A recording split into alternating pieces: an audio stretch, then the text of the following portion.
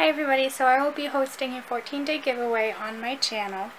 The requirements are very simple. All you have to do is subscribe and comment down below what your favorite thing of fall is. After the 14 days are up, I will be emailing the winner on YouTube, so please look out for that email once you won. Also, make sure that when you do get an email that it's actually me. If you click on the YouTuber who sent you an email, make sure there are actually videos and videos of me in it, obviously. And there's only one giveaway winner, sadly. Um, I'm not able to do multiple giveaway winners yet. And I hope you guys have a nice day, and I hope you all have fun with the giveaway.